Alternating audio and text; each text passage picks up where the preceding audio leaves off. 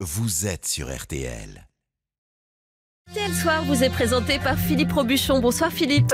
Bonsoir Laetitia, bonsoir à toutes et à tous. Qui seront les adversaires des Bleus lors de l'Euro 2020 de football? Réponse dans l'heure qui vient.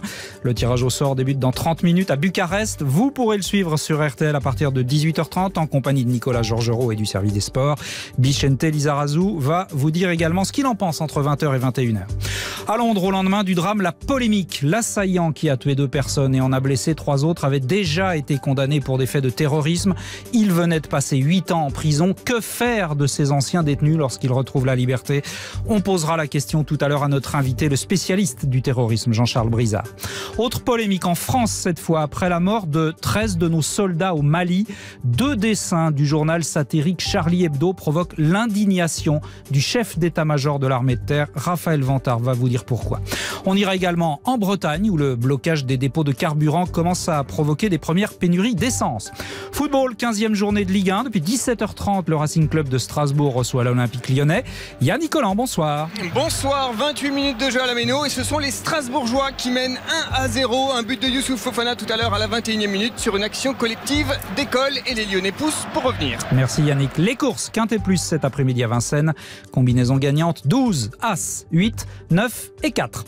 À 18h25, mon métier, ma passion avec vous, Armel Lévy, bonsoir. Bonsoir. À 18h20, mon métier, ma passion. Ce soir, une très belle invitation au voyage. Avec Alain Sauter, il est le seul et unique artisan fabricant de globes terrestres en France. À tout à l'heure, Armel. Le temps, bien médiocre demain sur la moitié est. Attention, de fortes pluies sont attendues dans le sud-est. Le Var et le Vaucluse viennent d'ailleurs d'être placés en alerte orange. On aura de la neige en montagne et même peut-être quelques flocons au nord de la Seine. Prévision détaillée, Valérie Quintin, dans un petit quart d'heure. RTL Soir. Bonsoir Nicolas Georgerot. Bonsoir. Dans moins d'une demi-heure, on refait le match euh, sur RTL. Euh, vous allez nous dire euh, euh, qui seront peut-être les adversaires des Bleus, puisque c'est le tirage de l'Euro 2020, c'est à Bucarest en Roumanie. Tirage un peu plus compliqué que d'habitude, hein, puisque l'Euro sera disputé dans 12 pays différents, on le rappelle. Je rappelle au passage les dates, 12 juin, 12 juillet prochain. Alors, question la plus importante, Nicolas, euh, qui peuvent être nos adversaires Alors, il faut d'abord euh, procéder par élimination. Les Bleus sont déjà assurés de ne pas croiser notamment la Belgique et les Pays-Bas au premier tour. En revanche, ils n'échapperont pas à l'un de ces quatre pays de premier plan, l'Italie, l'Angleterre, l'Espagne ou l'Allemagne. Didier Deschamps, le sélectionneur, vient de prendre place il y a quelques instants dans l'auditorium à Bucarest en Roumanie. Il est au micro de Julien Babou d'M6. Anxieux, non, on est là, comme tous les autres. Euh, on verra bien ce qui nous attend. On saura nos adversaires, euh, où on jouera. C'est des données importantes avant de, de planifier toute la, la préparation euh, en fin de saison. Alors pour le tirage, le danger viendra du chapeau 3 où se trouve le Portugal, champion d'Europe en titre, et la Turquie? Ce serait un tirage relevé, mais également l'Autriche et la République tchèque. Et là, ce serait un tirage plus aisé dans, dans ce cas-là. Alors Nicolas, autre particularité ce soir, les Bleus ne connaîtront pas forcément tous leurs adversaires. Exactement, parce que dans ce montage complexe établi par l'UEFA, quatre places restent encore à attribuer, quatre qualifiés connus seulement après des barrages en mars prochain. Et cette situation risque de se produire à 75% pour les Bleus. On aura donc sans doute ce soir que le nom de deux futurs adversaires des champions du monde. Alors autre question, où se joueront ces matchs pour les Bleus comme pour les autres équipes? Ça a son importance. Bah oui, parce que ce peut être euh, le grand écart sur euh, cette question. Le staff des Bleus souhaite établir le camp de base à Clairefontaine pendant la compétition. Un cas de figure poserait problème si la France se trouve dans le groupe A, qui se jouera à Rome et à Bakou. Les distances ne sont pas les mêmes. 4500 km de Paris pour allier l'Azerbaïdjan. Les Bleus pourraient séjourner à l'étranger. Merci Nicolas Georgerot. Soyez prêts donc tout à l'heure à partir de 18h30 pour ce tirage. RTL Soir. Philippe Robuchon. En Grande-Bretagne, le gouvernement promet de faire toute la lumière sur le drame qui s'est joué hier à Londres. Un homme de 28 ans a poignardé plusieurs personnes sur le London Bridge. Bilan, deux morts, trois blessés. Acte aussitôt qualifié de terroriste.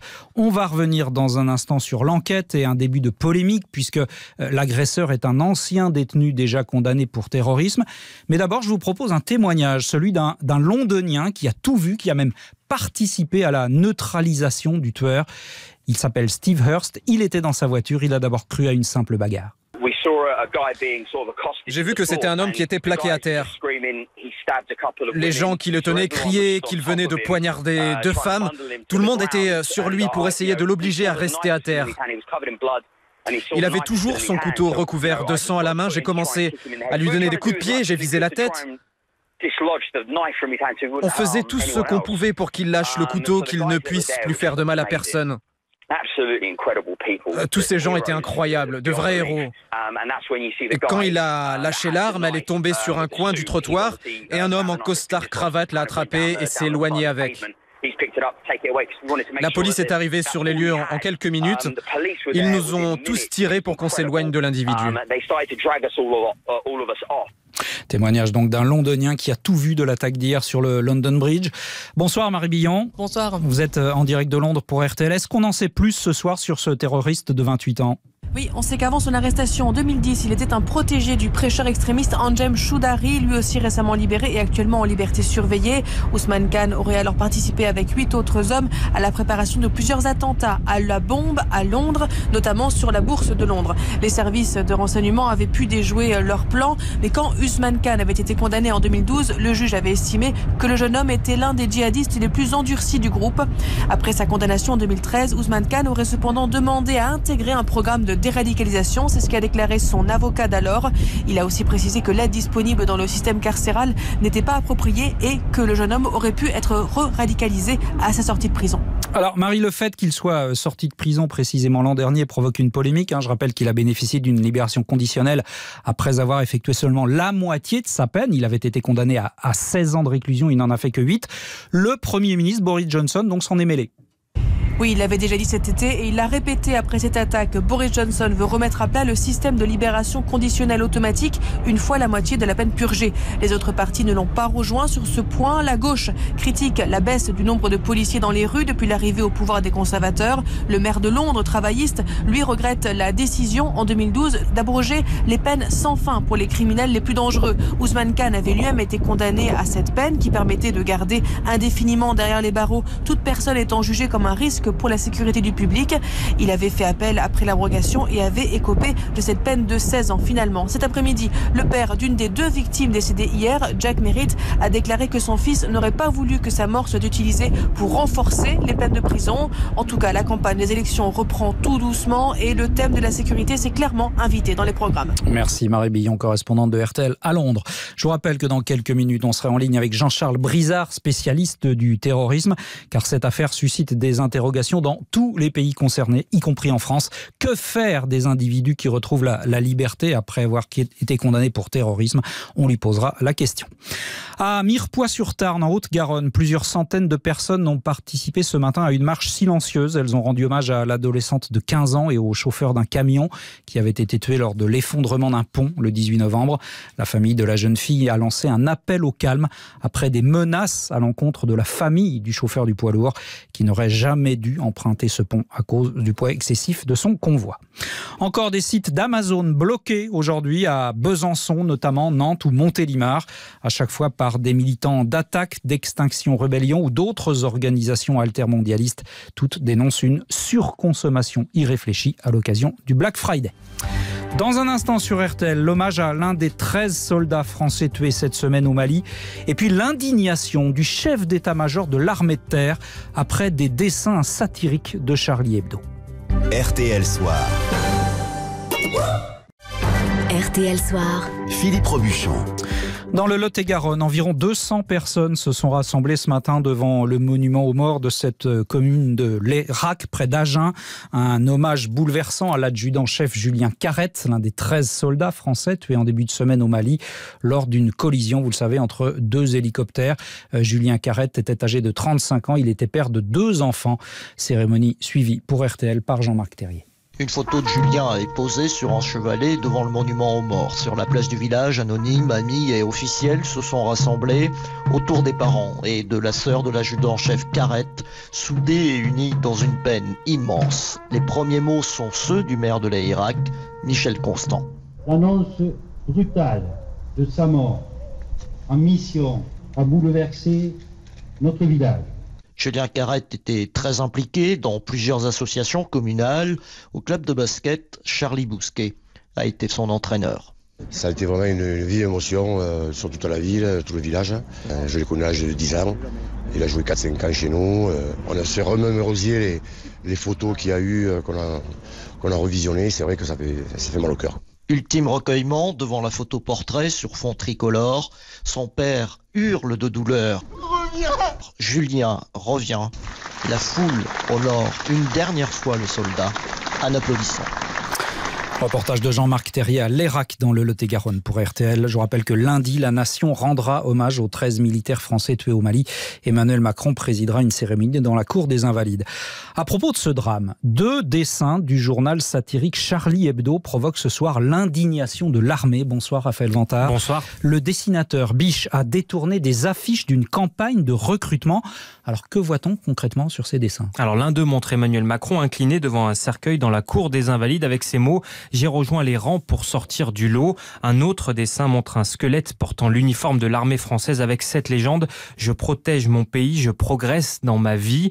Avec ces dessins, Charlie Hebdo renoue avec sa tradition de satire acide anti-militariste, mais la caricature choque toute l'institution militaire. C'est donc le chef d'état-major de l'armée de terre en personne ce soir qui monte au créneau. François Burkhardt écrit une lettre ouverte à Rhys, le directeur de la publication de, de Charlie Hebdo. Le temps du deuil de ces familles a été sali, écrit-il par des caricatures terriblement outrageantes.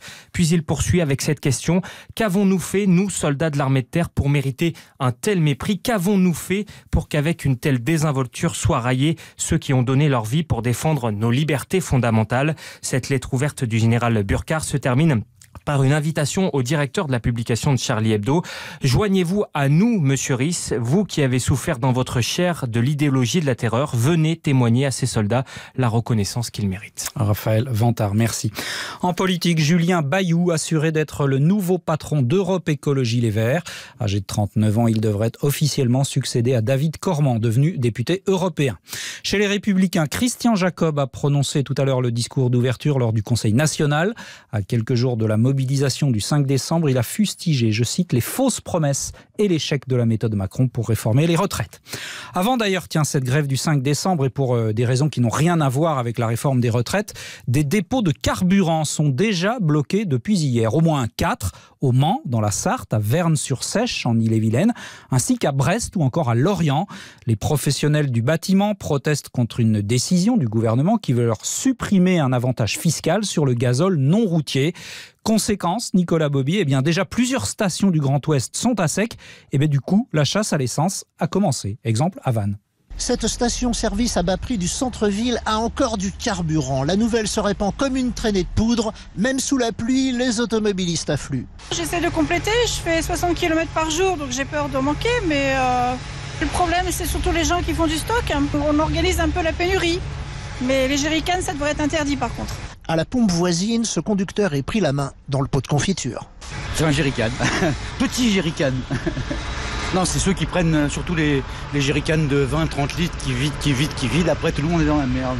C'est surtout ça le, le problème actuel. Quelques automobilistes redoutaient la panne. J'ai fait mes courses à pied, je suis revenu trempé, donc euh, je peux pas non plus euh, toujours être sous la pluie. Je mets 20 euros, c'est tout. Quand il n'y aura plus d'essence, il n'y en aura plus. J'irai plus travailler. Ah ouais, là, moi, je suis à sec, là, j'ai plus rien. Donc là, j'ai vraiment besoin. Un samedi surréaliste, le tiroir caisse a chanté tout l'après-midi. Nicolas Bobby à Vannes pour RTL. À Paris, plusieurs centaines de personnes ont marché cet après-midi dans les rues à l'appel des associations de chômeurs. Elles ont défilé du siège du MEDEF jusqu'au ministère du Travail pour protester notamment contre la réforme de l'assurance chômage. 18h16, on revient au football et à la 15e journée de Ligue 1. Le match en cours, c'est Strasbourg-Lyon et je crois qu'il y a une égalisation, Yannick Collant. Exactement, un partout désormais entre Strasbourg et Lyon. C'est Maxwell Cornet qui vient d'égaliser. Superbe frappe du gauche dans la surface. Il a éliminé Mitrovic d'un petit crochet, frappe imparable euh, pour euh, Matt Sels. Euh, tout à l'heure, c'était les Strasbourgeois donc, qui avaient pris l'avantage à la 21e minute sur une action d'école. Un 1-2 côté gauche avec Ludovic Ajorc.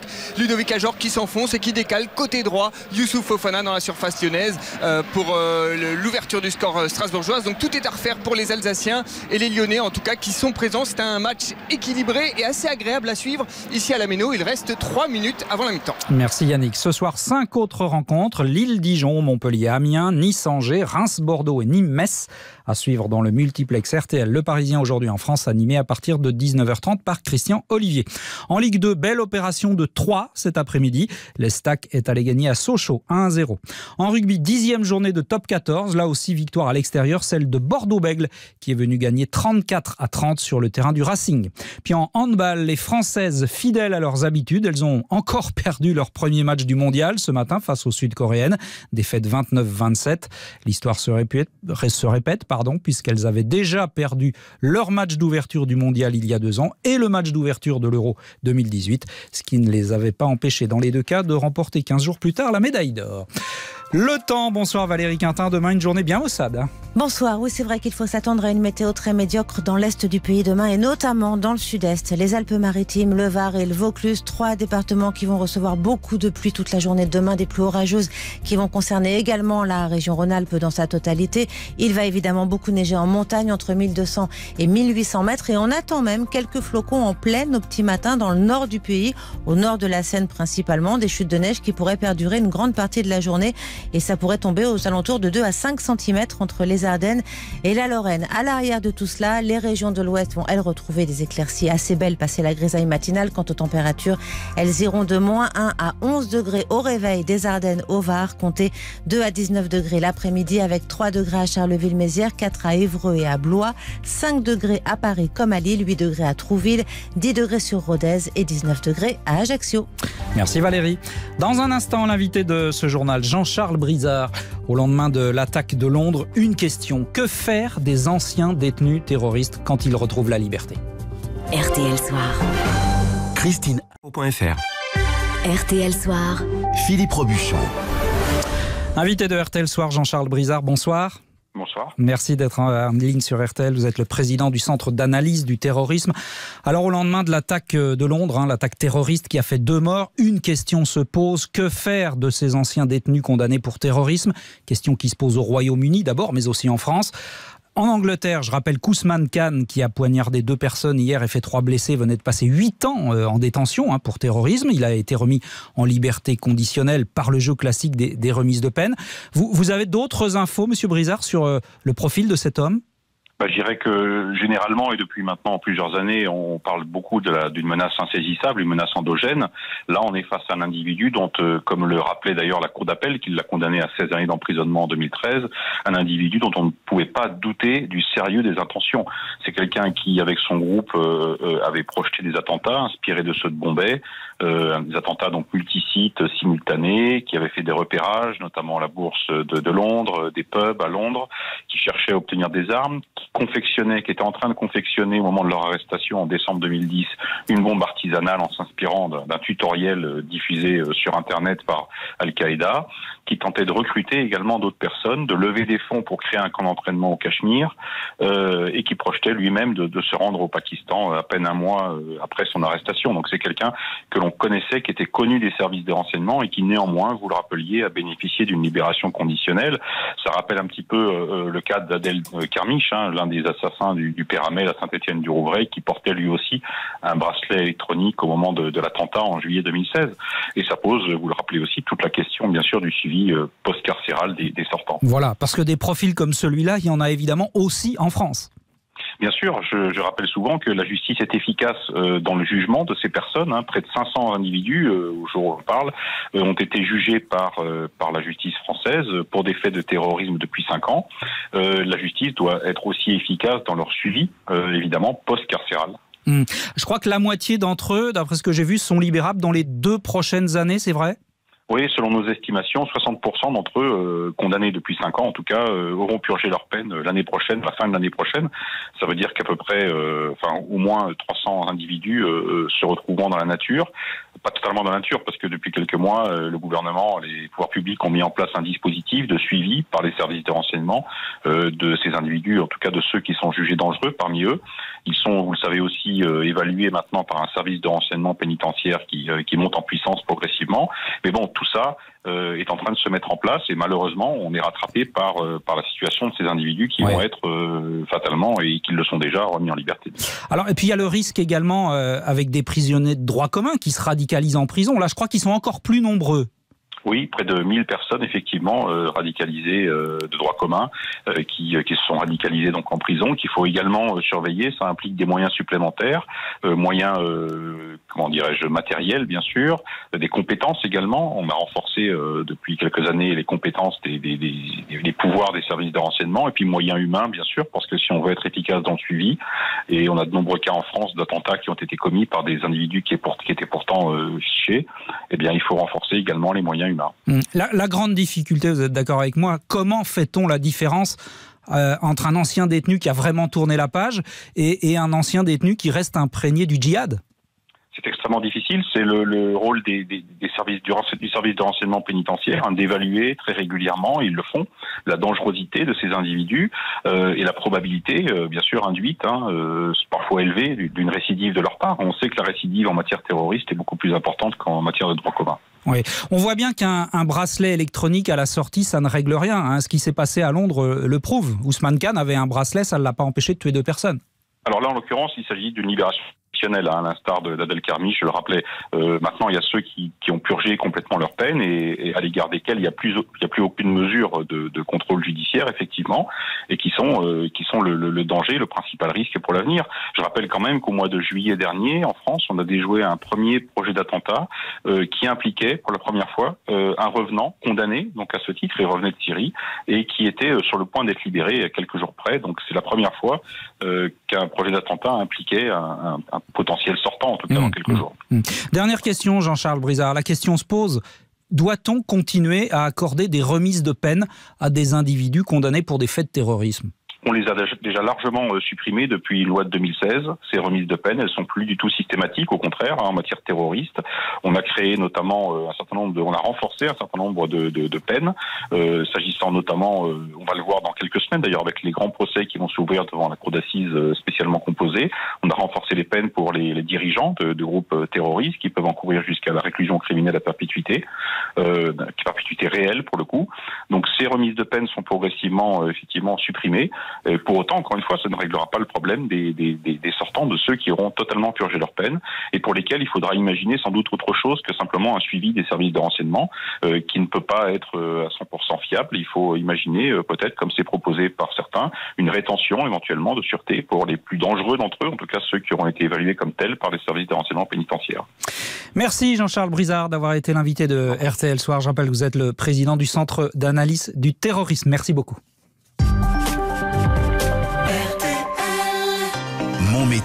Ma passion, Armel Lévy. Chaque samedi, donc, vous nous faites découvrir, Armel, des amoureux de leur métier. Ce soir, on va à Besançon, dans le Doubs, à la rencontre d'Alain Sauter, qui est le seul et unique fabricant de globes terrestres en France.